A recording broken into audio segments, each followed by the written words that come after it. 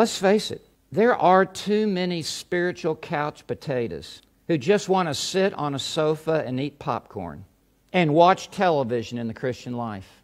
Instead, they ought to be disciplining themselves. Uh, They ought to be disciplining themselves in prayer, disciplining themselves in the Word of God, disciplining themse- themselves in coming to church, disciplining themselves in serving God, disciplining themselves in, in witnessing, disciplining themselves in giving of their resources to the Lord's work.